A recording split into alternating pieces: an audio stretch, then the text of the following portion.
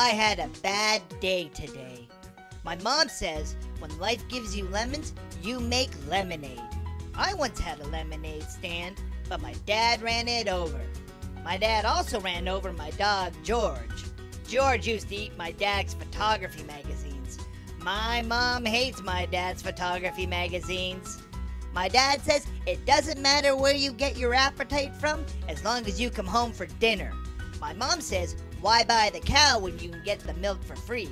My dad says, because his cow has saggy udders and the milk is sour. milk makes me fart. My mom says, if you don't have anything nice to say, you shouldn't say anything at all.